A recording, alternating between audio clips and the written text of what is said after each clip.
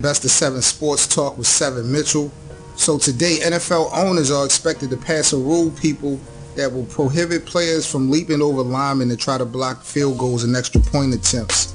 Sources say that the league feels this play is too dangerous and that players could get flipped over and seriously injured while leaping over the line. Are you fucking kidding me? The NFL. Why y'all can't just get this right? I was rooting for you. We were all rooting I mean, seriously. You want to use this as a, a scapegoat? The rule change was sparked by a proposal from the Eagles and was backed by the NFL Players Association. Every little bit of excitement that we get in the NFL seems to be just snatched right under our feet. What the hell is the problem? You taking away the celebrations. Now you're taking away an element of blocking the kicks and extra like it's exciting. If you athletic, I mean, that's those are great plays.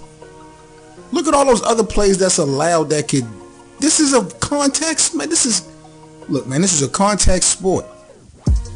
What is wrong with the NFL? Why y'all can't just get this shit right? Leave. It's like y'all cannot leave well off alone. I was rooting for you. We were all rooting for you. How dare you? Unbelievable, man. This is the best of 7 Sports Talk T7M Radio with 7 Mitchell. Join us five days a week.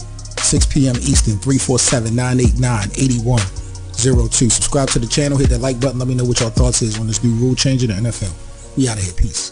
Best of 7 Sports Talk with 7 Mitchell on T7M Radio every Monday, Wednesday, and Friday. 6 p.m. Eastern.